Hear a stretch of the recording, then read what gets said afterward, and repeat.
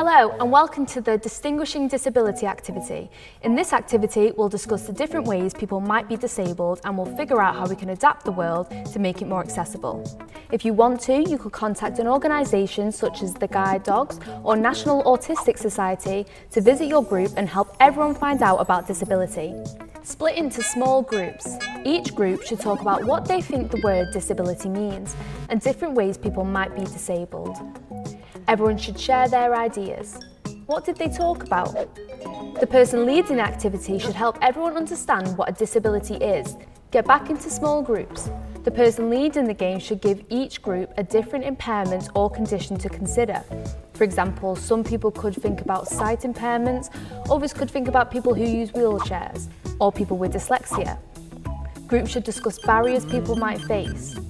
What sort of things might mean they're left out or excluded? They should talk about things that could get rid or avoid these barriers to make places and activities accessible. Everyone should come back together and share some of their ideas. What can you do to make sure everyone's included?